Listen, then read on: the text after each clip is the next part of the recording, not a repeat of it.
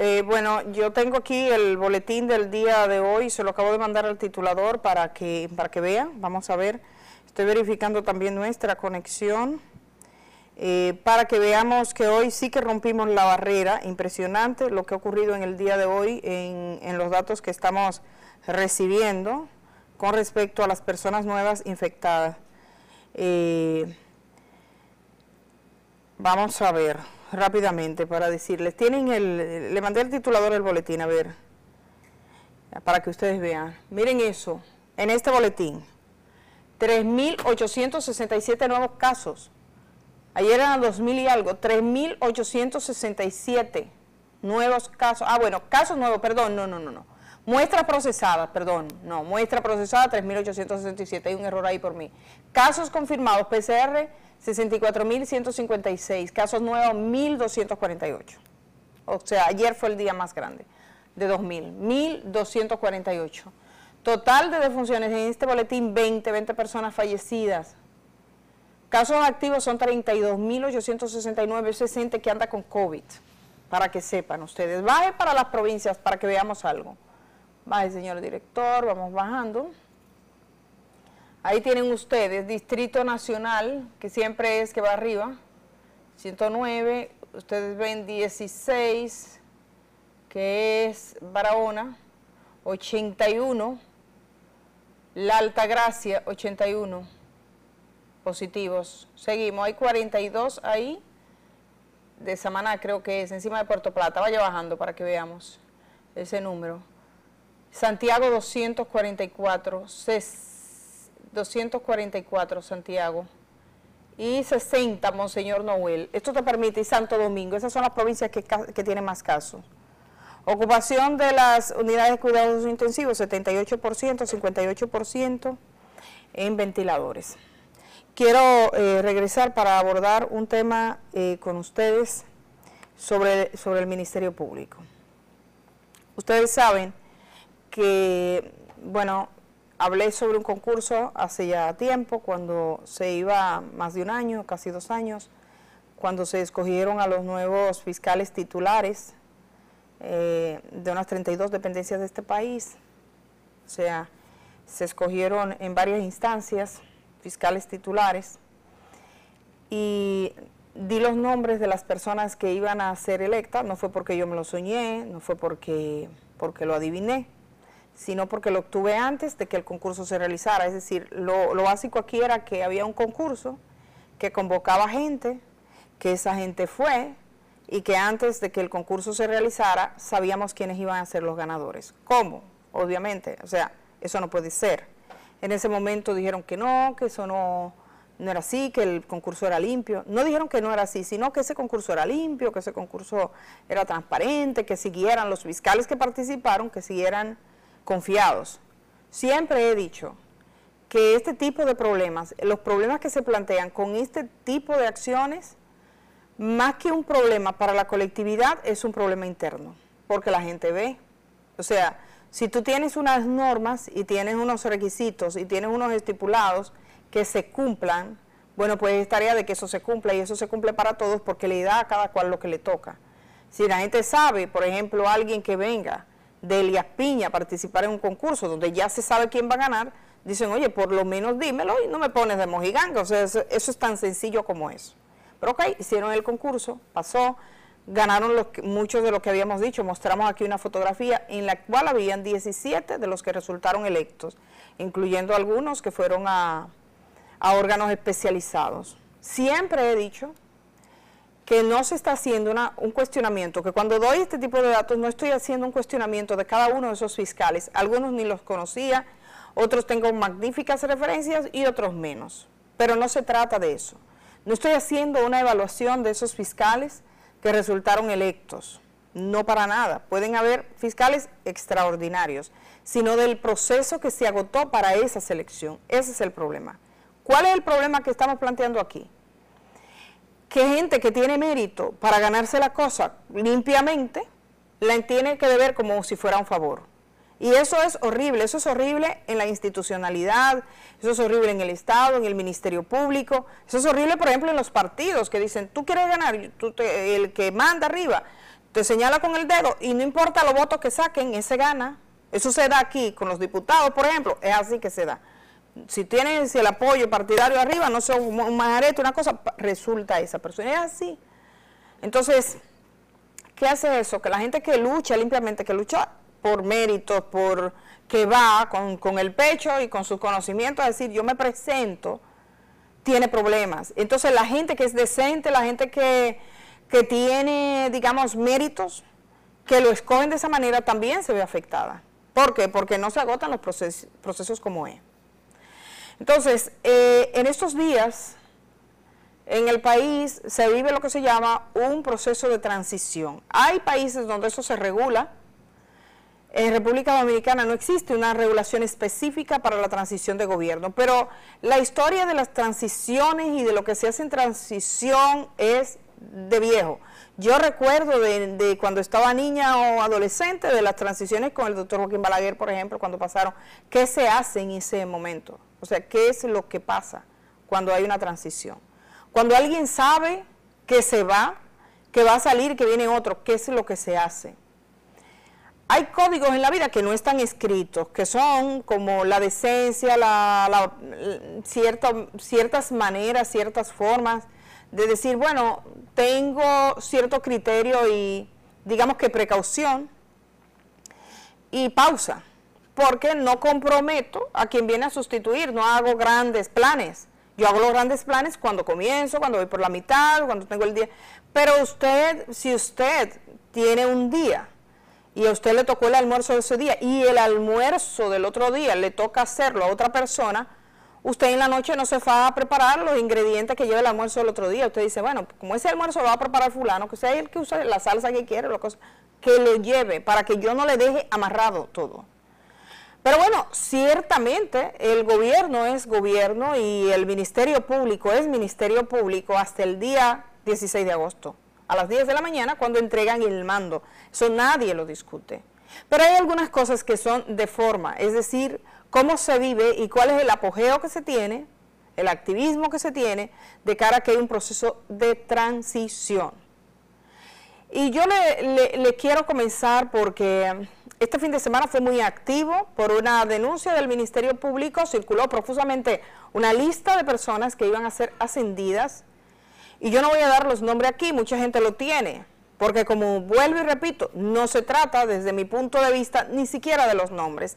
Sé que entre los nombres de esas personas que iban a ser ascendidas, hay personas que son idóneas, que llenan los requisitos y que eventualmente en un proceso con todas las de la ley pasan, pero había gente que no pasaba, que no llenaba los requisitos y hubo gente que denunció.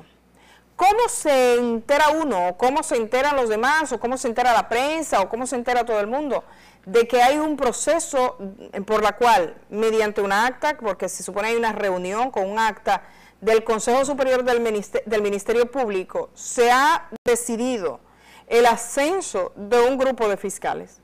¿Cómo se entera uno?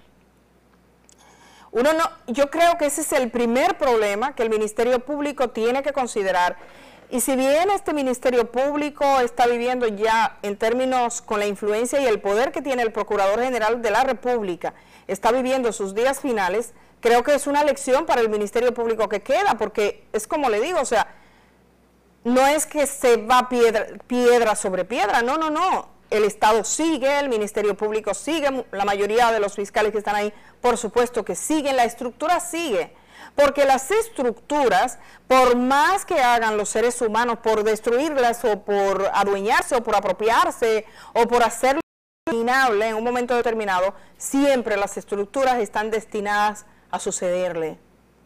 Desde que el mundo es mundo. Usted tiene todo el poder hoy, pero sea por lo que sea, o sea por los votos en las urnas, o sea por la vejez, por lo que sea en algún momento, eso termina. Porque el poder no es para siempre. El poder no es para siempre. Ahora los pueblos están obligados a sobrevivir a cualquier estructura de poder que se instale incluso de la manera que fuese. Pero eso es, eso es así en toda la historia de la humanidad. Entonces, en este momento, estas personas están casi al salir.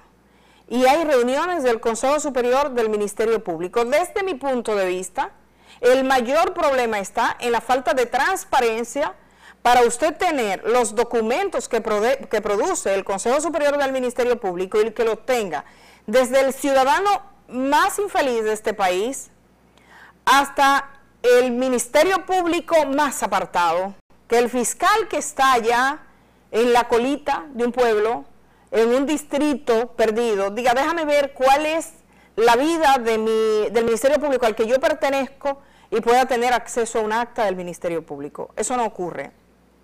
Y no ocurre.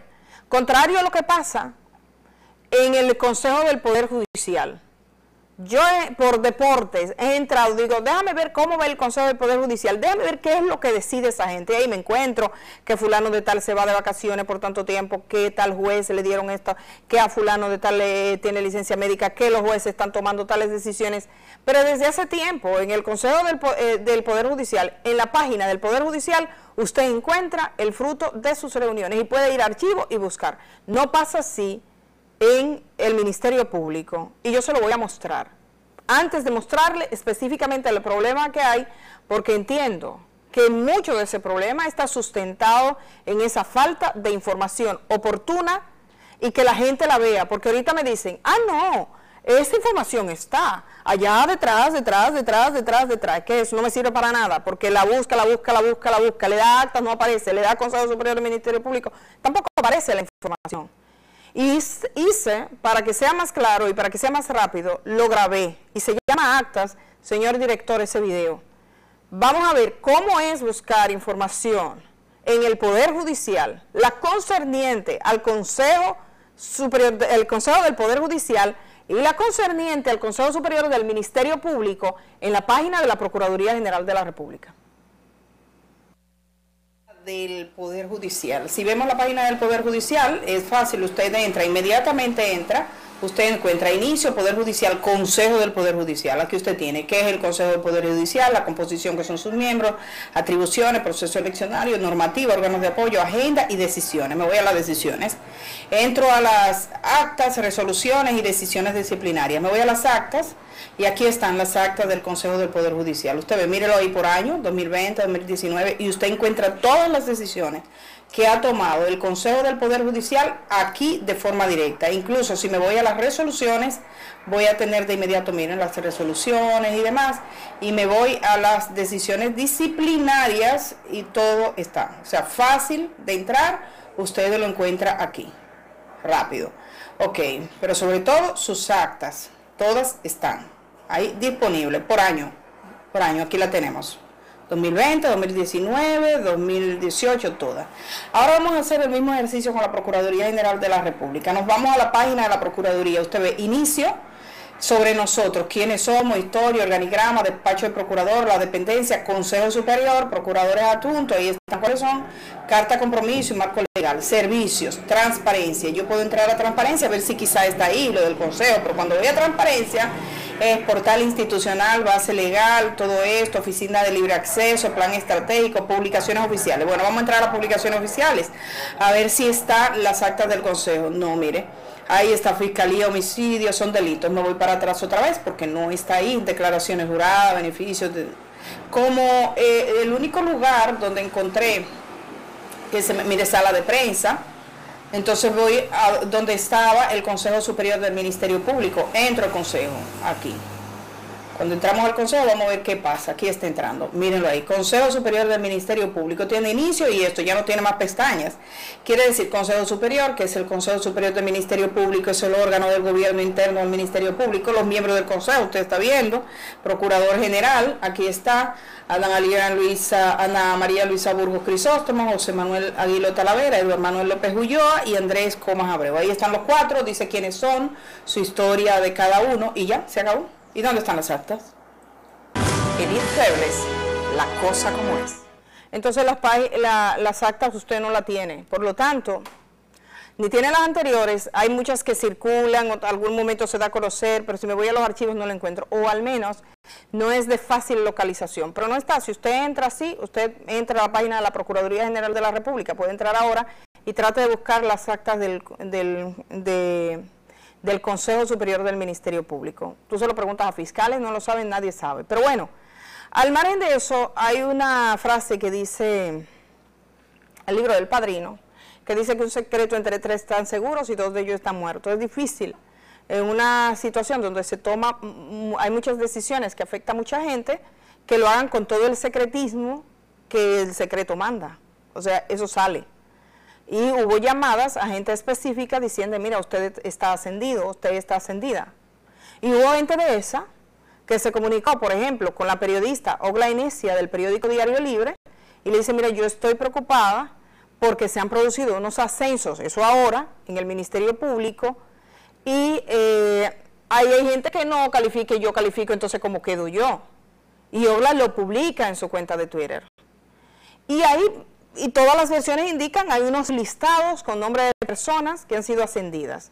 Ahora, de tú decir, ese listado es realmente oficial, tú no lo tienes oficial. ¿Por qué? Porque el Consejo Superior del Ministerio Público no tiene sus actas ahí.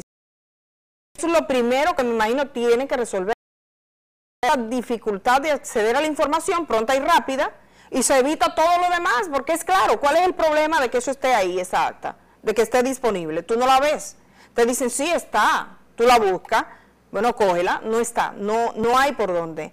A menos que me digan después que eso estaba en la tercera, de la tercera, de la tercera página ya, que tampoco sirve porque una de las condiciones la misma ley de acceso a la información pública y la transparencia y todo el que sabe algo de transparencia del Estado, que hay mucha gente que lo sabe, sobre todo en el Ministerio Público sabe, es que el acceso tiene que ser fácil y tiene que estar ahí.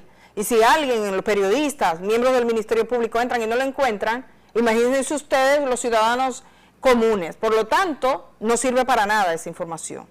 Se produjeron esos ascensos se produjeron varias declaraciones. Yo misma escribí en mi cuenta por varios aspectos, porque no solo estamos hablando de esos ascensos. El Ministerio Público vive en estos días un, un apogeo, un movimiento, una rapidez, una como que el mundo se acaba mañana, como si el mundo fuera a acabar mañana. Entonces usted tiene cursos rápidos de habilitación que se dan por Zoom, rápido corriendo. Usted tiene traslado de personal, a última hora, personal clave, por ejemplo. Eso es como... Eh, ¿Cómo es que se llama este reptil que cambia de color? El camaleón. Operación Camaleón. Una gente que está aquí, que es clave, la mando para allí con, ya en un puesto no tan clave. Como que los demás son locos, yo me imagino, no sé, ni sé lo que se busca.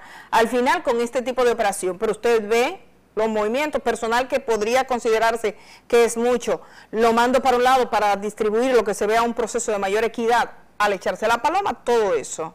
Pero además, hay otros aspectos y movimientos que ellos conocen mejor de lo que no conozco yo, porque yo estoy fuera, a fin de cuentas, o sea, ellos saben. Y hay muchas informaciones que circulan sobre todo ese mundo de, de avidez de última hora. Pero creo que el punto más conflictivo que confrontó fue el del ascenso, obviamente, y mucha gente se refirió, incluyendo algunos fiscales en activo, que en sus cuentas y redes sociales se refirieron. Yo misma puse mi cuenta de Twitter, que quiera comprenderlo, a un fiscal que puse Wilson Camacho, que desarrolla eh, la noción, y él lo explica muy bien, del Consejo Superior del Ministerio Público, de por qué estos procesos se hacen de esta manera. Entonces, hubo gente incluso que respondió de la que fue favorecida que fue, y dice, pero yo, ¿por qué me cuestionan? Porque yo me lo merezco. O sea, hubo gente que respondió. Pero el Ministerio Público, la Procuraduría, y tiene una reacción. Yo quiero que ustedes vean la reacción de la Procuraduría General de la República, que lo pone en su página y lo publica en sus cuentas de redes sociales. Señor director, mandaba una página que se llama Desmentido, puede abrirla, es la página de la Procuraduría, donde Desmiente, ahí tiene. No, no, no. Vámonos con la siguiente. Desmentido, por favor. Es la página que mandé. Esta es la noticia de Obla, que es la número 3. Es la número 2 que la mandé por correo. La página de desmentido. Se la mandé al, al, al máster. ¿La tienen? Desmentido. Pregunté por eso, que se llama desmentido. Si no, se lo explico en lo que ustedes lo buscan. Yo lo mandé por correo y pregunté antes, ¿tienen desmentido? Sí, lo tenemos. El, desmentido es el siguiente. La Procuraduría General de la República desmiente que se hayan realizado tales ascensos. No hay tales ascensos. O sea que eso es, mire, Consejo Superior del Ministerio, no el de Procuraduría, no. Consejo Superior del Ministerio Público desmiente ascensos. Seguimos hacia arriba. Baje. entonces el Consejo Superior del Ministerio Público desmienta que los ascensos, o sea, eso no existió. Entonces yo pregunto, vengan conmigo, ¿qué tal? ¿Nos lo soñamos todos? Estábamos todos locos. Los fiscales que recibieron la llamada de que estaban ascendidos se lo soñaron. Los consejeros que llamaron porque estaban ascendidos se lo soñaron. O sea, eso no existió. Oglenecia, que como les dije, conversó con algunas de las personas que habían resultado favorecidas con los ascensos, escribió este artículo ayer en la página eh, digital del periódico Diario Libre. Vamos a verla. El título que fue el que ustedes pusieron anteriormente, el de Oglenecia. El título, fiscalizadora envía investigado a la diputada que competía con su esposo en La Vega. Yo no me quedo ahí porque esa es que una de las ascendidas que había participado. No me detengo en ese caso, que es uno de los casos que están cuestionando. Sigamos hacia abajo para que veamos algo en ese escrito. Yo quiero mostrarles a ustedes lo que implica este escrito. En ese escrito, ya una vez que la Procuraduría ha desmentido. En ese escrito dice lo siguiente, me voy con el escrito, un momentito para que abra aquí. Eh, tenemos todo, de acuerdo a las informaciones ofrecidas, sigan hacia abajo, seguimos. Eh, vámonos más abajo, ella fue, ¿dónde está, señor director? Ahí baje, exacto. ¿Qué dice ahí en el tuit? Juliana Ramia Capellán es una de las fiscalizadoras y dice, hola querida amigo, querido amigo, te puedo asegurar que los que aparecen en el listado todos tienen más que el tiempo suficiente y méritos para el ascenso, incluyéndome. Un abrazo. Si no hubo ascenso, ¿cómo es que hay fiscales que en sus cuentas y redes sociales dicen, oye, yo tengo méritos, que puede que sea? O sea, se lo soñaron. Seguimos. La gestión de Jean Alain Rodríguez en la Procuraduría General de la República será recordada. Bueno, vamos a ver. En, en, menos de seis meses, el Consejo Superior de esa ha tenido que dejar sin efecto decisiones que ha tomado respecto a concursos y ascenso a fiscalizadores y procuradores fiscales debido a los cuestionamientos, tanto al interno como al externo de la dependencia. El más reciente tiene que ver con la decisión de supuestamente ascender a funcionarios en medio del proceso de transición de, mando. Luego que se hicieran públicos los nombres de las personas que serían ascendidas, muchos de los cuales cumplen con los requisitos de ley y preparación, la Procuraduría informó, mediante el comunicado que ustedes vieron antes, que hasta el momento no ha sido tomada una decisión al respecto. Sin embargo, esta información contrasta con los fiscales que fueron llamados para informarles de sus ascensos pero además, miren este, este, este, texto que está ahí, que se lo voy a leer, de uno de los consejeros, el consejero Eduard López. Prefiero renunciar al Ministerio Público antes de apoyar que se deje sin efecto el ascenso de muchos compañeros valiosos. Yo estoy dispuesto a morir por mi palabra. Y eh, hay una, a título personal, ustedes lo ven ahí, busquen ese artículo en el periódico Diario Libre, le dice él a Diario Libre el consejero, o sea, la periodista llama al consejero después que el Ministerio Público, el Consejo ha dicho, supuestamente, según la Procuraduría, que el Consejo ha dicho que eso no tiene validez y él dice, a título personal yo voy a defender los ascensos mientras esté en la posición y aún fuera de la posición, porque por el hecho de que un grupito que siempre le ha buscado la quinta pata al gato de todo, y cuando no son ellos los elegidos, siempre le buscan un pero a todo, Ciertamente yo voy a defender en el Consejo y hacer todo lo que esté a mi alcance para que se cumpla con los ascensos de esos procuradores fiscales. Vengan conmigo. Entonces, ¿cuál es el problema? no sé si el consejero había sido informado de que se iba, si es el consejo en pleno. O sea, fue el consejo que mandó la nota de prensa este fin de semana. Vean lo que le dice este consejero. Y no es que son 20 consejeros, son 5. Con lo cual pesa mucho la opinión de uno. Son 5, pesa más cuatro consejeros y el Procurador General de la República. Entonces, ¿quién tomó esa decisión? Por lo tanto, obviamente hubo un ascenso y a mí me parece como casi lastimoso que al final de un mandato tú salgas y digas, no, no hubo. Todo eso es como si todo el mundo se inventó eso, pero resulta que tú tienes fiscales que dicen que fueron ascendidos y tiene un consejero que dice que no está conforme con esa decisión y que lo va a mostrar ante el Consejo. Ahora el problema es que ese Consejo se consolide su posición, se determine cuál va a ser la posición que va a tener el Consejo mientras pasan estos días de transición. Todo un, un engranaje que verdaderamente uno no le encuentra ni tiene cabeza, bueno, tiene su cabeza, está pensado, porque según se den estos ascensos y dependiendo de las posiciones en las que esté la gente, después toca elegir de nuevo al Consejo Superior del Ministerio Público. Y entonces se, escogió desde ahora la gente eh, con estas movilizaciones y ascensos. Eso es lo que dicen algunos. Pero yo realmente no logro, uno no logra alcanzar mucho del interés posterior de tales actos en medio de un proceso de transición. Y obviamente creo que Edward tiene razón en un sentido, él está diciendo, yo tomé una posición, si el Consejo lo decidió, si el Consejo lo decidió, el Consejo debe revocarlo. Viendo la posición suya y viendo las declaraciones que le hace a la periodista oblenecia del periódico Diario Libre, me pregunto si el Consejo fue que decidió decirle al país que eso nunca existió. Y yo creo que para que hay como un rango esencial de cierta honestidad en lo que se dice, en todas las instituciones públicas, pero sobre todo en el Ministerio Público, porque el Ministerio Público, y lo vengo diciendo desde hace tiempo, tiene en sus manos cosas tan vitales para la sociedad como son las propiedades de usted, su libertad y su honor. Usted puede ir preso por una acusación que le hagan de ahí. Usted puede perder sus bienes. Entonces, todo este tipo de situaciones deben estar sujetas a un órgano que tenga credibilidad. Y, este tipo de situaciones erosiona un poquito más la ya erosionada credibilidad del Ministerio Público. El gran desafío que tendrán las nuevas autoridades que entren ahí, con todo lo que estén ahí, con la gente que ha trabajado eh, de manera limpia va a ser recuperar la credibilidad. Ese es el órgano que tiene en sus manos, como me decía un juez cuando se hizo el concurso de fiscales aquel. Decía, es el órgano que tiene en sus manos algo tan básico en una sociedad como es la política criminal del Estado. Y no se podría tomar a la ligera como para decir una cosa por un lado y que te la puedan desmentir por otro, con gente que está dentro, porque tu problema no es fuera, el problema de este tipo de afirmaciones no es fuera, es dentro. Me voy a la pausa y regreso de una vez.